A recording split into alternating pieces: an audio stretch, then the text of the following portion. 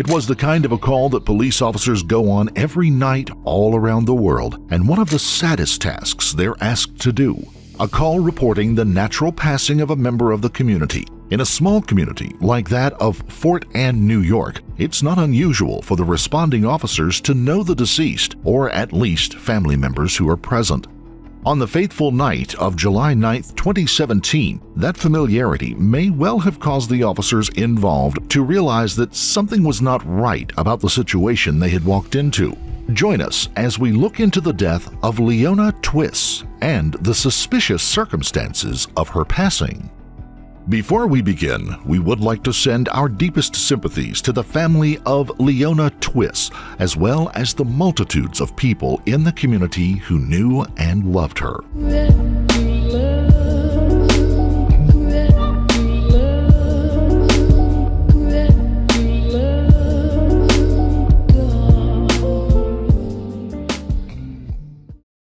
It was a warm but breezy Sunday night in upstate New York when deputies were dispatched to the home of Leona Twiss. The 95 year old woman had been reported as dead by her grandson, Kevin Gonyea, and his wife, Melissa. Leona had been suffering from Alzheimer's disease and dementia, and the Gonyeas had been living with her for the past year to provide her with around the clock care. Leona and her husband, Walter Stubby Twiss, had lived at the house at 9 Twiss Road for almost their entire lives, raising two children of their own a son, Gordon Twiss, and a daughter, Janice Gonyea. Gordon, a well known barber in the community, lived just a short way down the road from his parents on Twiss Road, named, of course, for the family. Gordon's son, David, also lived in the town and was now a retired corrections officer. Janice had married into the Gonyea family and had later moved to Florida, passing away at the age of 61.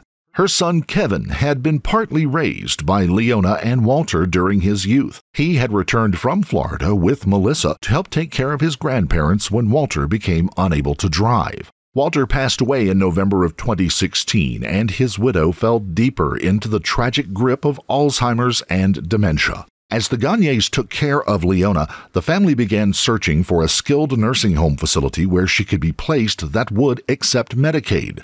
Those nursing home spots, however, are hard to find, and the Twiss family had spent better than a year frustrated in their attempts. After arriving at the scene, the deputies were taken to Leona's room and were able to verify that she had passed away. As is normal procedure in these cases, they began asking the Gonyeas some standard questions to establish a timeline and a manner of death.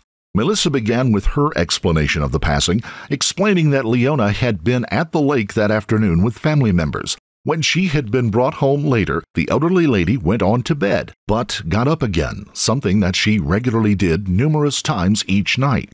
So she was at the lake, the lake all day. You said, Yeah, eating with her them. son. And she came home right after her son left. She went in there to get ready for bed. What time was this roughly? Nine o'clock. Around nine. Roughly, Okay.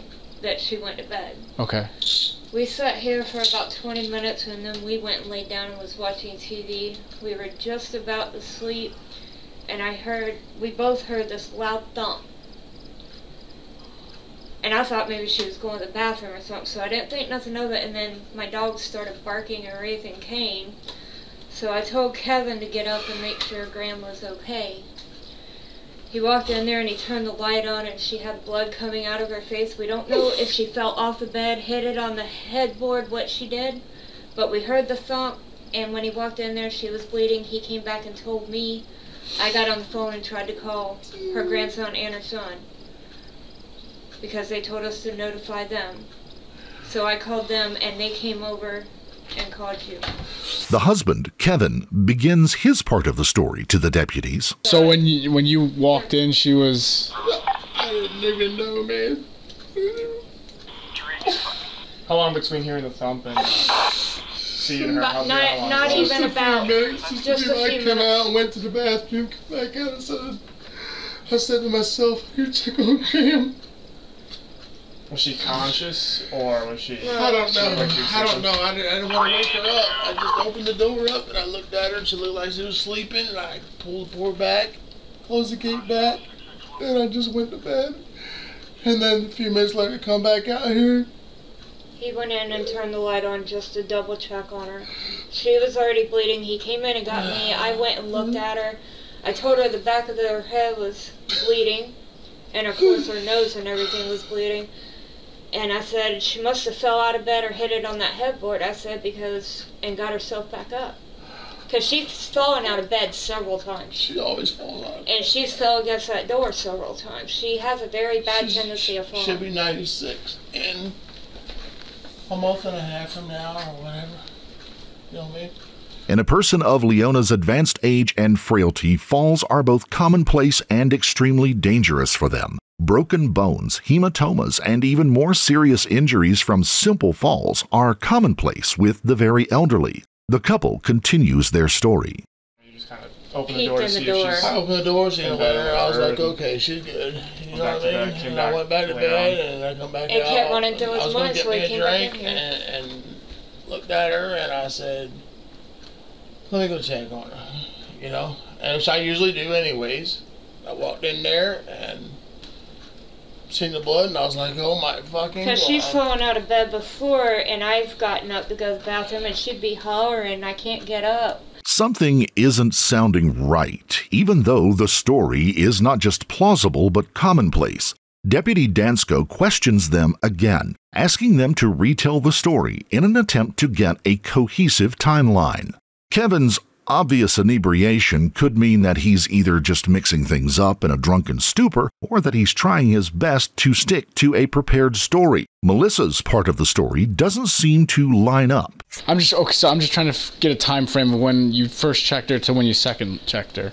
The first time he checked her was I'm not- probably about 10 to I don't- 11. I don't look at and at 11 dude. is when he turned the light on and saw her bleeding. I don't look at clocks. That's when he came in and got me.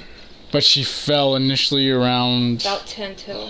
Who Or, knows? or probably before that, about a quarter till. Who knows? Okay, so it was like a I ten. I didn't see the clock or anything, so. Who Okay. knows? I mean, Until I don't- he I got up and that came in and told me that she was bleeding, that's when We don't pay. I looked at the clock. Fucking time, really. You know what I mean? Well, if you're sleeping, yeah. We don't pay no attention to fucking time. Kevin then begins to talk about how Leona would get up and down at all hours of the night for a variety of reasons. Caretakers of people suffering from Alzheimer's often cite this as one of the most trying and difficult parts of their everyday life. The person in their care often becomes disassociated with time, not knowing what time of the day it is, and they get up and continue to live through imagined scenarios or specific times in their lives. It wears hard on the caregivers as they have to interrupt their own rest cycles, not only to care for the people, but also to protect them from harming themselves. The acts are random, and the person suffering from dementia can become angry or violent in response, oftentimes not even recognizing their caregivers, even if they've spent their lifetime with them. Had Leona had one of these moments, fallen and hit her head, and then gotten back into bed under her own power, it certainly seemed unlikely considering the extent of the injury and her own weakness. Still, the deputies had to consider those possibilities. They allowed the Gonyeas to continue explaining themselves. I went in, I just peeked at her and saw her face bleeding. I saw her ears bleeding, and I looked and I saw that there was blood on the pillow. So I didn't move her, but I looked at the back and saw the back of her head bleeding. And I I'm gonna say because she does fall about all the fucking time. Either she banged her head on the stand or a dresser or something. You know what I'm saying? Yeah. I mean, I don't. I can't say what, but I am gonna say she banged her head on something and, and got back in bed. I have no clue because she does it all the freaking time. Deputy Dansko then asks a very important question. Did they check to see if Leona was still alive before they called in emergency services? And you checked her pulse. Uh, I went in, I didn't see her chest moving. I didn't do it. I didn't until- touch her. I didn't do shit. I didn't. I didn't want to mess with her. He called her grandson and her son. I didn't do nothing. When she They said she came was out here I and went called down and got my, went, went down and got my cousin. I looked in there just like this, and that was it. I went down and got my cousin. I said, she's gone. What's your guys' relation again? Okay. Did you say? At this point, Deputy Dansko turns and goes outside in response to a call on his radio, leaving the other deputy to finish up getting the information for the paperwork. Dansko walks outside to his patrol car and begins speaking to another emergency responder before turning off his camera. Leona's body was brought in as usual in these cases, and the Gagnes were left to take care of the business of alerting the other family members and to grieve. The suspicions were there, though, and the Washington County Sheriff's Department immediately requested an autopsy be performed on Leona's body. A forensic team from the state's Bureau of Investigations went to work and quickly determined that the injury to the back of Leona's head was not fatal, that there had been no major blood loss from it, and that she had not succumbed to any of the numerous natural causes of death for a woman of her age. By the following Wednesday, July the 12th, the Sheriff's Department had a definitive statement on how Leona had died, and it was a homicide, one that would have only been identified through an autopsy, one that left few, if any, visible marks. Leona had been strangled to death using a soft towel. The sheriff immediately put out warrants for the arrest of Kevin and Melissa Gonyea. Deputies and investigators moved out to Twiss Road in an effort to serve the warrants. The Gonyeas weren't there, though, so while some stayed at Leona's house, another group stopped at Gordon Twiss's home. They spoke with Gordon and his wife about the Gonyeas. The officers received an earful of opinions and information when they got there. The body camera footage is from Deputy Jeff Latour. What follows is a fine example of community police work in a rural area. The deputies keep everything casual and establish their relationships with those involved. They allow the people to talk as freely as they want as they await the news that the Gonyeas have returned home. Oh man, I just want to relax. I've been waiting for this. Okay, I've been taking pictures. Okay. I've been taking pictures on faith. She did plan on having uh, a pick him up. They did it. They did it. I know. driveway. Do they have any other car? What, what car do they have? It's Brett Porter's car. I'm gonna. I, I, I'm spieling now because I want them. Mom did not deserve this. She didn't deserve this. Just a simple statement from a deputy who is familiar with the family gets more information quickly. Makes you think this guy? I just know it from what I saw. From what I've seen him do to her at times. No 95 year old lady should have had it gone through. He came here to help out because mom did need 24 hour care. And she was calling here all the time. We were taking her as much as we could because she was afraid to being up there. She said he was always mean. And I just, I I saw, I saw the whole scene that night. I saw the slit in the back of the head. Oh. I saw what he's done to his wife, dragging her. The wife he's with now? Yeah. Okay. And he's a fucking redneck from fucking Florida, and I, I just he's had other. I, I shouldn't be spilling my guts, but I Listen, have to because listen, I want justice. I Is that want your- justice. Is that your mom? That was your mom? It's my mother-in-law. Okay. And then she asks a pointed question about how they thought Leona had died. At this point, there had been no press conference or announcement of murder to the public, much less how it had happened. We've got we've got the results back. Was it strangulation and then a blood to the head? the I'm just the, asking. The biggest the biggest thing that we need to accomplish right now is talk to them without at putting out there. I know that's why I have any not said a word. so. I have not. I've been very quiet. I, I feel it was strangulation with a towel. That bit of knowledge, especially about the towel, would become very important in the future. The deputies got the call that they had been waiting for. The Gonyeas had returned home and had been stopped before turning in their driveway by the officers waiting there. Deputy Latour jumps in his vehicle and tears down the road with the other deputies and inspectors close behind. As he arrives, it becomes apparent that the sheriff's department had a definite plan in place to handle the situation. In the 11 months that the Gonyeas had been living in Fort Ann, deputies had already been dispatched to their home twice on domestic disturbance calls. So, coupled with the apparent homicide, they had to assume that at least Kevin could be a violent threat. There was no knowledge of whether he could be armed or not. But with Melissa in the car, she could go from co conspirator to hostage very quickly. Also, Kevin was known to be a raging alcoholic. With it being close to 8 p.m., the chances were good that he would already be drunk and very unpredictable. Kevin also had a police record back in Florida with at least one violent incident on it. As officials moved into their position and Deputy Latour begins speaking, Melissa is quietly moved from the vehicle and back to a waiting sheriff's vehicle. Not only does this protect her and open further access to Kevin from another angle, but it also prevents the two from working together to corroborate their stories. Well, we're just going to explain to him what's going on right now and things like that. So, Yeah. the weapons are in the car. Nope, nope, Kevin and I have a good Kevin, right? nope. Kevin. Yeah, we fist pump flu season.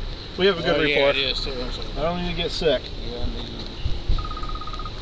Hi, how are you? Hi. My name's Dave Mosier.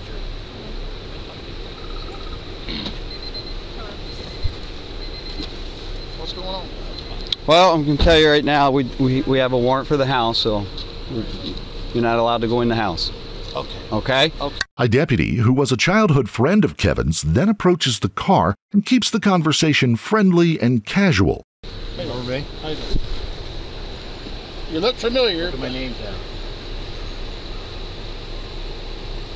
Fucking 40 at school taught you better than me. Oh my God! Look John at- Winchell. We still got we got to get down behind Morrissey's and find those fucking shoes we lost in mud that day. What do you got in the cooler? You remember that? No Oh my right? God! You mean down in the fucking? Yeah. Oh fucking shit. All right, look at we got it. We got to talk to you. Okay. I'm sorry. So sorry. Okay. Um, so if you would jump right in the car, right here with this officer. This is Deputy Latour, and go down um, and talk to the guys and just tell them what's going on. Okay. Just I just talked to him. Well, I don't know if talk to him. Right. yeah, but you're, you're pretty well. Yeah. John. Okay. How's it going? Good. Very good. Good hands, but Yes, it has. Yes, it has. Neither of us were gray back then. well, are you trying to say I am now? hang on, hang on. Uh-oh. There's a, there's a secret to it. That door lock does All right. not go straight up. You can't bring your beer No, no, no, no, no, no, no. because I know it's not fruit juice in there. Nope, nope. He then talks him out of the car and eventually into a sheriff's vehicle to be taken to the station to answer a few questions. You're a big fella. You look at your mom. Listen, I don't want to hear that fucking shit. It's. I, I grew up with this guy right here, man. all right, I got man. the keys are in. I'm going to move the car into the driveway for you. You can't fit in there, man. I can fit in. Are you fucking serious? I serious? got, I got skinny guys. Really?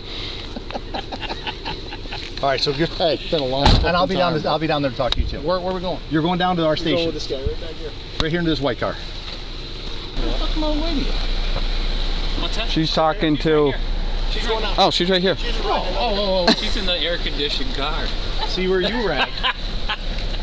so you get a ride with the other students. That's pretty good too. You're good. Uh, fist pump flu season. Any chance of violence was negated without a single gun being drawn. A textbook perfect example of community policing done right. Both Melissa and Kevin were brought in for questioning and officially arrested and charged for their involvement in the murder of Leona Twiss. Washington County Sheriff Jeff Murray held a press conference immediately afterwards discussing the case. Uh, Initially, uh, sheriff's officers were called to the scene of what was reported as a natural death at the residence. Uh, Due to the alertness of the deputies on scene and the investigators that were subsequently called to the scene, uh, they found it uh, possibly suspicious and re- and requested an autopsy. As a result of the autopsy, uh, the findings were that uh, Mrs. Twiss died uh, as a result of strangulation. Uh, Once we got that information, the investigation began into the two suspects that were arrested. Sheriff Murray continued in response to questions from the press in attendance. You know, it's safe to say that these two individuals were uh, charged with the care of, of the victim. And, uh, you know, it's just a, a sad case when the two people that are charged with the care of the victim end up uh, causing her death. Kevin Gonyea was charged with second degree murder, one count of hindering prosecution, and one count of tampering with physical evidence. If convicted, mandatory sentencing in the state of New York would result in a term of 25 years to life in prison. He was arraigned and held without bail. Melissa was charged with concealing evidence in the case. Her arraignment bail was set at $30,000 in cash or a $60,000 bail bond. She was unable to make bail. As time passed and the trial loomed, both Melissa and Kevin were separately offered plea deals. Melissa agreed to hers in exchange for a reduction in her sentence. She turned on Kevin and said he had been abusive for years, including an incident where he had grabbed her by the hair and pulled her down a flight of stairs, and that she was afraid of him. Her covering up for the murder came from fear, she said. On the night of the murder, she said Kevin came out of Leona's bedroom crying and said, It's done, and then told her to get rid of the towel. Melissa would later take police to a remote area in West Fort Ann where they were able to retrieve the murder weapon. Kevin Gonyea also took the plea deal and provided a deposition to prosecutors before coming to court and announcing his guilt. In the deposition, he admitted to killing Leona Twiss by strangulation. At the trial, Kevin's defense attorney said that it was a mercy killing and that Kevin did not want to see his grandmother suffer anymore. Melissa would go on to serve two years in prison for her part in the crime. Kevin was given a term of 15 years to life for his part. Kevin is serving his time at the medium security Washington Correctional Facility in Comstock, New York, just a few miles down the road from where the murder occurred.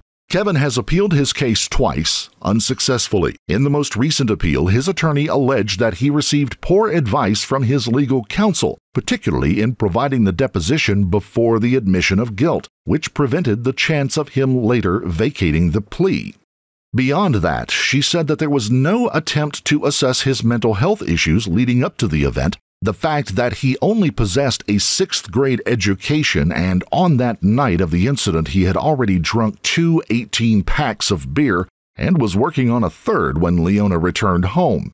It was also argued that the continuous care and difficulties had put the Gonyeas into a state of extreme emotional disturbance. The potential for extenuating circumstances did not change the outcome, though, and the appeals failed. And this would normally be the end of the case, but there was one serious wrinkle remaining, one that may or may not have been ironed out since then. In their separate depositions, both Melissa and Kevin attempted to implicate Gordon and David Twiss, Leona's son and grandson, in plotting the murder. In Melissa's testimony, she alleged that a couple of months before the murder, David had told them that if things became too difficult, that they could do what they do in prison when they wanted to kill a problem inmate and strangle them with a towel so that it wouldn't leave marks. Melissa then alleged that Gordon had told them it would be nice if she would fall and bang her head. That would be the end of it. David had then allegedly said that he wished things would be over for her. Kevin's deposition included very similar statements. On July the 9th, Leona had been at the lake with the Twiss family and she had become difficult, confused, and angry. It had been a bad day for everyone. Such things aren't unusual in these situations with dementia patients, and they can be very stressful for everyone involved. After dropping Leona off back at home, Melissa alleged that Gordon told the couple it needs to be done tonight. Arrest warrants were sworn out on both Gordon and David Twiss, and they were brought in for questioning. A deputy at Gordon's arrest said that as soon as they began talking to him, the man looked at his spouse and said, I guess I'll see you in 15 years. Both men were charged with second degree conspiracy to commit murder and were released on their own recognizance to await trial. They both face sentences of 8 to 25 years in prison if the charges are proved true. As the trial loomed, their defense attorney requested that the cases be dismissed. Judge Kelly McKeighan paused the proceedings and two days later dismissed the case on the grounds that the grand jury had not been provided with opinions and hearsay in addition to other evidence and that it did not fulfill the requirement to bring the charges against the two men. Washington County Assistant District Attorney Taylor Fitzsimmons would simply say that it had not been a successful prosecution against the two men. And with that, the case was decided in the eyes of the law. But the murder of Leona Twiss still has uncomfortable ramifications. Caring for someone going through Alzheimer's and dementia is an immense responsibility, and every single day it can be emotionally wrenching, even for trained caregivers. In the case of the Gonyeas, it was obvious now that they were overwhelmed by what was going on, and the trouble was compounded by their own natures. Had there been a nursing home space for Leona, most likely this entire event would have never happened. If you or a loved one are caring for someone with Alzheimer's or dementia, please reach out for assistance. Alzheimer's caregiver support groups are all over the nation. Please give a quick check and you can find one in your area. Also, most communities have some form of a council on aging or elderly services who can provide you with direct support and advice. You do not have to bear it alone, and there's no shame in seeking help. If you found this case compelling, don't forget to like the video, comment down below your take on it, and please subscribe to the channel. Also, hit the notification bell in order to stay up to date each time we reveal a new shocking case.